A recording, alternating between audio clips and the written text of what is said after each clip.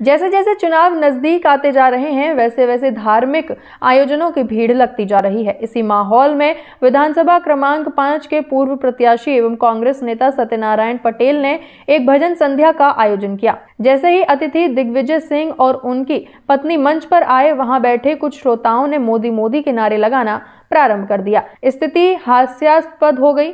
दबी ज़ुबान में कांग्रेस के ही कार्यकर्ताओं ने बताया कि विधानसभा क्रमांक पाँच के कांग्रेस के टिकट के लिए प्रयासरत एक उत्साही युवा नेता ने अपने समर्थकों को भेजकर ये कार्य करवाया।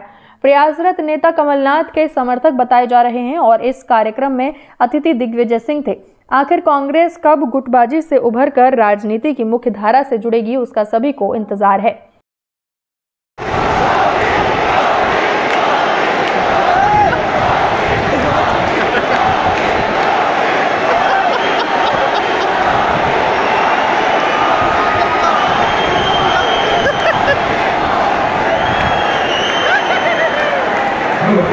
Спартак